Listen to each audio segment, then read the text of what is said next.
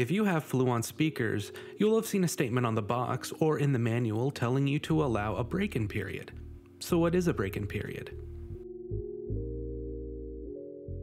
A speaker has two flexible parts. The first is the spider, which is located inside the speaker. The job of the spider is to hold the voice coil.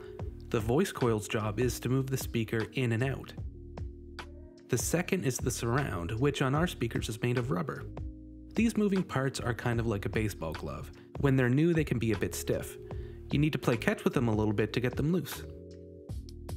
This stiffness requires the speaker to work harder to move back and forth, which means that the sound quality isn't as great as it could be. This affects the lower frequencies for mid-range drivers and woofers most, although it can slightly affect the tweeters as well. That's why we recommend playing your new speakers for about 10 to 12 hours at a moderate volume. This will give the parts time to loosen up and allow a full range of motion.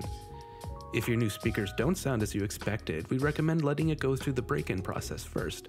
The difference can be night and day. Thank you so much for watching. For more videos like this, be sure to hit the subscribe button.